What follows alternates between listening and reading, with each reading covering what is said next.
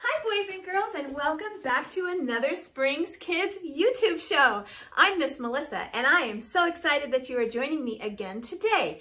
Guess what we are going to be learning about today? Today, we're going to be talking about the Holy Spirit. Yeah, I know, it's going to be so cool learning all about the Holy Spirit and what He does. But before we get into that, let's look at our thankful journals.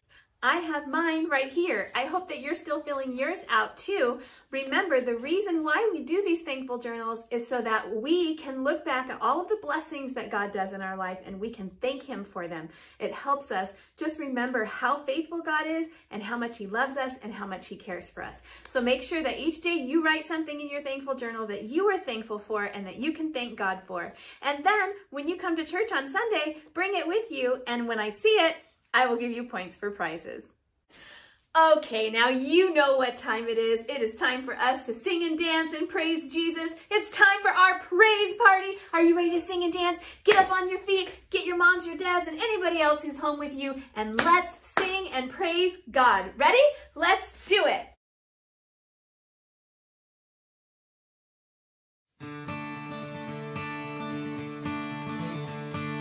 In my wrestling, in my doubts, in my failures, you won't walk out. Your great love will lead me through. You are the peace in my troubled sea. Oh, you are the peace in my troubled sea.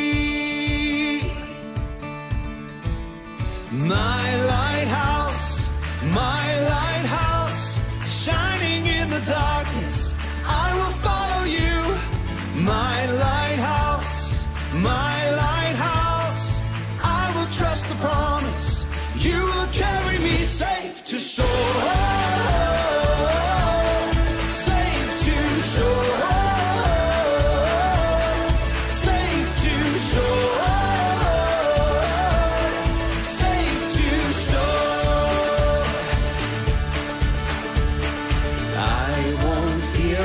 tomorrow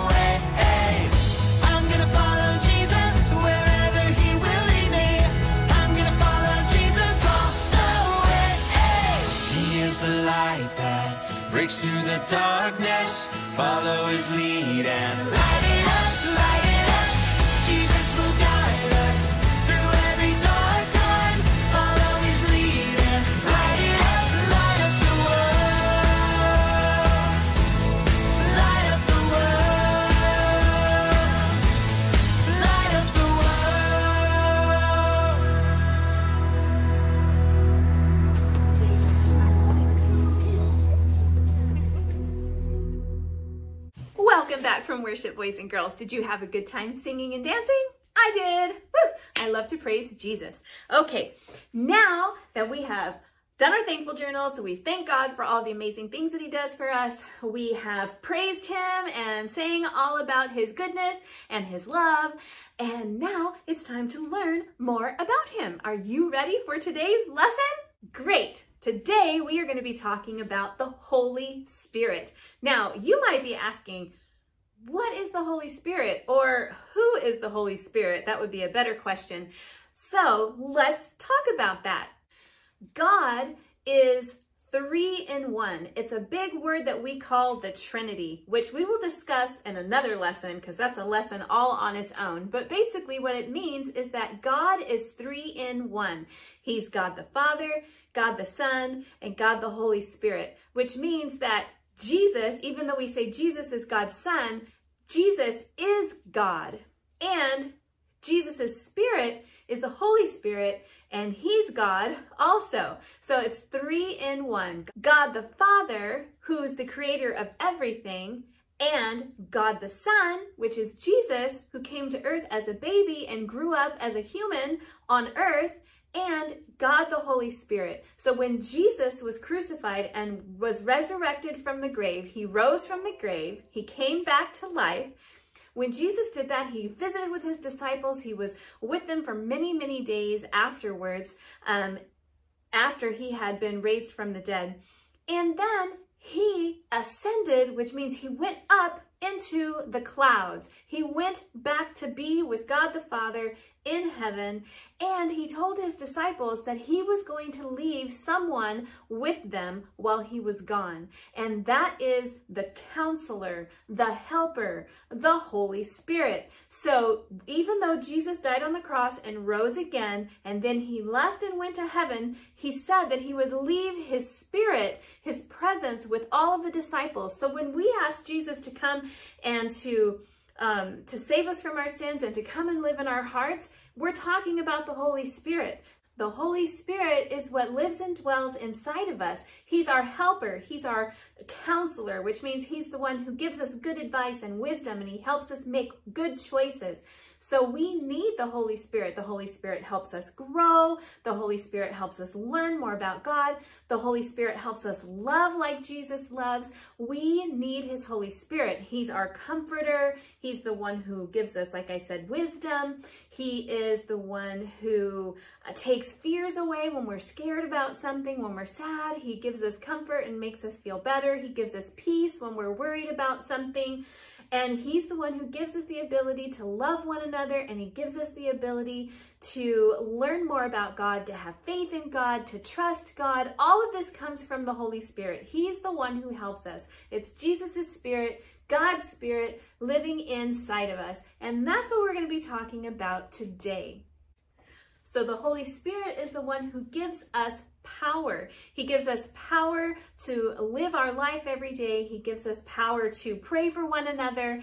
Um, the Holy Spirit is the one who gives us the, the gifts of the Spirit, things like praying in tongues and speaking prophetic words and praying for the sick and seeing them get healed. All of these things come from the power of the Holy Spirit. The gifts of the Holy Spirit like hospitality, worship, teaching, preaching, all of these abilities that we have for God, to do good things for God, compassion, mercy, um, things that you need to go in the mission field to tell people about Jesus. A big word called evangelism, which means we tell people about Jesus. Sharing the gospel. We need the Holy Spirit's power to help us do that. So by having the Holy Spirit living inside of us, he is our helper.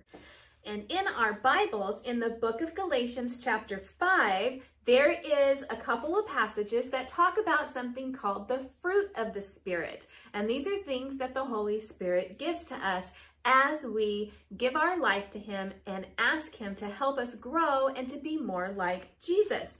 So it says the Holy Spirit pro produces this kind of fruit in our lives love, joy, patience, kindness, goodness, faithfulness, gentleness, and self control. There is no law against these things. So these are the things that the Holy Spirit gives us. He gives us love, joy, peace, patience, kindness, goodness, faithfulness, gentleness, and self-control. These are things that if you are growing in these areas, if you are loving better, if you have more joy, if you have more peace, you have more patience, more kindness, more goodness, more faithfulness, more gentleness, and more self-control, then you know that you have the Holy Spirit inside of you. It's how we can tell that we are walking with Jesus, that he really is living inside of us because we are connected with him and his Holy Spirit helps us. The helper helps us do these things. So as you continue to grow in your walk with God, as you learn more about him, read your Bible and pray, and you will see that you, you have more of these things called the fruits of the Spirit. And that is one way that you can tell that you have Jesus living inside your heart. Now, in some places in the Bible, it talks about the invisible God or the unseen God. And in those areas, it's talking about the Holy Spirit. We cannot see the Holy Spirit, but we can see the work of the Holy Spirit. We can see what the Holy Spirit does. The Bible also tells us that people will know Jesus's disciples by the fruit that they produce. And this is what that is talking about. It's talking about love, joy, peace, patience, kindness, goodness, faithfulness uh, gentleness, and self-control. So people who follow Jesus should have these kind of characteristics. This should be the kind of people that they are. Okay, so now are you ready to learn more about the Holy Spirit with our friend Douglas? Let's watch this video. Hey guys, it's me again, Douglas. And have you ever ridden in a plane? Like flown through the sky in a plane? I got to ride in a plane once. Well, actually, I got to ride in a plane twice because we flew down to Florida to visit some of my my parents' friends, and uh, and then we flew back. So I guess I flew down one time and then back another time. But it was all within like you know a week and a half. Anyways, I was kind of nervous getting on the plane for the first time, and we you know we we have all the baggage stuff, and we got to you know crawl through this plane trying to get to our seats. And I sit down, and I got to have a window seat, and I I could see out the window, and I could see the the wing of the plane, and and I could I could see the ground, and you know, as we're starting to take off, you know, it's kind of rumble, rumble, rumble, rumble, rumbling, and uh, we get up and we get up into the sky, and I could look down out the window, and it was so cool. The world looked like a giant quilt. Like I could see the farms around my town, and they, they looked like a big old quilt on the ground, and I could see the clouds, and we got to a point where we flew up above the clouds, and we could see the clouds beneath us, and, and it was it was just amazing. But at a certain point, I was looking down, and I could see the wing and I kind of looked down into my seat and I could see I was, you know, I was sitting on a seat. I was on something, right? But as I'm looking out at the wing, I'm realizing the plane is on nothing. It's flying through the air. And this, this idea just kind of broke my little brain. We were flying through the air and we were supported by nothing. The plane was sitting on nothing, which is not exactly true because the plane is sitting on air, sort of. You know, it's flying through the air. It is using air to keep itself up. And you can't see the air, but the plane is definitely using the air. If the air wasn't there, you know, this plane it wouldn't be able to get up off the ground. You know, it's not just it's not just that air is, you know, it keeps keeps planes and birds up in the sky, but air keeps us alive too. We can't see it, but you breathe in and you breathe out all day every day. The air you breathe keeps us alive, but you can't see it. Sometimes you can see stuff that it moves around. You know, if the wind blows and rustles some leaves, you see the leaves moving, but you, you don't see the air. And it's that way with God too. You can't usually see God, but He's there. And He's not just there, but He is necessary for life. And through Him, we can do some pretty incredible things. You know, even more incredible than a huge plane flying through the air. Through God, all things are possible. And when you put your trust in something that you can't see, that's called faith.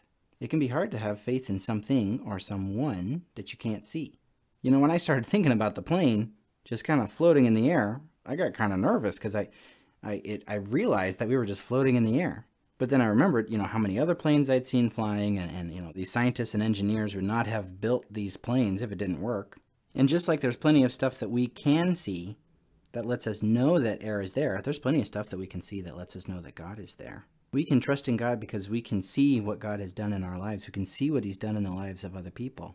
We can see that a life lived the way God intended is a life well lived. The evidence of God is everywhere, and we need Him for our very lives. So, my challenge today is that you would put your faith and your hope and your trust in the unseen God, the one true God. Because even though you can't see Him, you can see God at work. The Bible says that faith is a confidence in things hoped for and the assurance of things unseen. You know, not only does does God give us life, even though we can't see Him, but if you can put your faith in God, if you can have faith even the size of a little mustard seed, anything is possible. Thanks, Douglas. That was really helpful in, in helping us understand more about the Holy Spirit. Okay, now boys and girls, I have some questions for you. Now remember, I want you to listen to the question, then pause the video and discuss it with your family at home, okay? So question one, what's something other than the air or God that you can't see but you know is there? Pause the video and discuss that with your family. Okay, question two. What are some ways that we can know God is with us? Pause the video and discuss that with your family. Question three. Can you give a time that you knew that God was with you? Pause the video and discuss that with your family. And question four. How can we help others know that God is always there? Pause the video and discuss that with your family. So there are lots of verses in the Bible that talk about the unforeseen God. Things that talk about the Holy Spirit helping us have faith. Faith gives assurance about what we can't see, meaning that our faith is the assurance in something that we put our hope in. We can't see the Holy Spirit, but we put our faith and our trust in Him. Our unseen God created everything. So God is the one who made everything, but we can't see the Holy Spirit, but we know that His Spirit, His power is what created everything. Also, the unforeseen God is eternal, which means that He is going to live forever and ever and ever. He's an eternal being. He has no beginning and he has no end. He's always there. That is the Holy Spirit. And Jesus tells us that Blessed are those who believe without seeing. The disciples were super lucky because they were able to be with Jesus in person. They got to see him. They got to spend time with him. They ate meals with him. He taught them lots of lessons and he taught them about himself and about the Holy Spirit and about the kingdom of God. And they got to see Jesus come back to life. They got to see him be raised from the grave and they saw him ascend into the sky. They saw him go up into the sky, up into the clouds, back to heaven to be with the Father. So they had the opportunity to see Jesus. And because they saw all of these things and they saw the miracles that Jesus did when he healed people, when he made food multiply, when he turned water to wine. I mean, there's so many miracles that Jesus did through the power of the Holy Spirit that they believed that he was God's son. They believed he was the Messiah. They believed in him because of the things that they saw and what they learned from him. But we, as his disciples now, learn about him in the Bible, and we don't get to see him in person. We don't get to see him face to face, but we get to see the effects of his Holy Spirit. So Jesus actually tells us that we are blessed those who believe without seeing are blessed because we are putting our faith in him. We believe through faith and faith comes by hearing the word of God. So when we read our Bibles and we spend time in prayer, we ask Jesus to come into our hearts, then we begin to see the Holy Spirit, the counselor, the helper, the Spirit of God comes and lives inside of us and helps us make better choices. It makes us new creations in Jesus, new people in Jesus. We have a new heart. We have a new understanding of God's love. That's what the Holy Spirit does, and He helps us every day draw closer to God. So all we have to do is ask. We have to ask the Holy Spirit to help us. He won't make us do anything. We have to ask for his help. So we want to ask him to help us read our Bible. We want to ask him to help us pray. We want to ask him to help us love like he loves, to love one another. We want to ask him for all of the gifts of the Holy Spirit to help us be more like Jesus. We want to have the gifts of the Holy Spirit. And when we ask for these things, then the Holy Spirit gives them to us. He says that he will, he promises that he will, and that's who he is. So now I have a really fun object lesson that I want to do with you to help you better understand the power of the Holy Spirit and what that's like. So let's go outside and I'll show it to you. Okay, so for this object lesson, if you want to try it at home, you're going to need a ping pong ball and a hair dryer. All right, now the ping pong ball is going to represent us and the hair dryer is going to represent the Holy Spirit. When we follow him and allow him to guide us and lead us, watch what happens. So see, can you see the ball? You see how the Holy Spirit is keeping it moving. It's the power of the Holy Spirit. Isn't that amazing? Now see, if we follow the Holy Spirit, then we will go where he goes. Isn't that awesome? So look what happens if we get too far off the path and we're not staying connected to the Holy Spirit. Whoop! We fall, right? We fall away from God. We fall, we can get into trouble. But if we stay connected and stay on the path with the Holy Spirit, there. Isn't that awesome? So now we can't see the Holy Spirit. We can't see the wind that's holding this ball and keeping this ball on that path. It's just like the Holy Spirit. We can't see the Holy Spirit, but he keeps us on the path that we're supposed to follow so that we can draw closer to God and closer to Jesus. Isn't that awesome?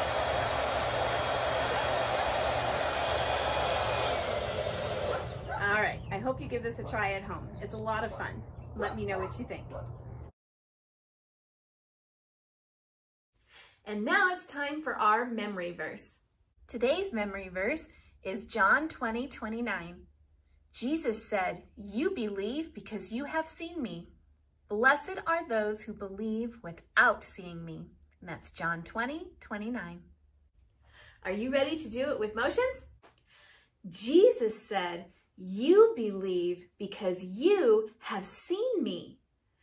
Blessed are those who believe without seeing me. And that's John 20, 29. And now it's time for us to talk to God. Will you pray with me? Dear God, thank you for always being there. Please help us to better see you at work in our lives. And please help us to help others see you as well. Dear God, I ask that you would watch over every single boy and girl and their families, everyone who's watching this video. Help us draw closer to you. Fill us up with your Holy Spirit and help us grow in our walks with you. Help us grow in our understanding of you. Give us the ability by the power of your Holy Spirit to spend time reading our Bibles and to spend time praying and talking to you and just spending time in your presence. We ask for your protection over all of us, Lord, protection over each boy and girl and their families this week, and bring us back next week. In Jesus' name, amen. Okay, boys and girls, thank you for joining me today. I hope you had fun learning about the Holy Spirit, and I hope that you spend time with him this week. I will see you again next Sunday. Bye!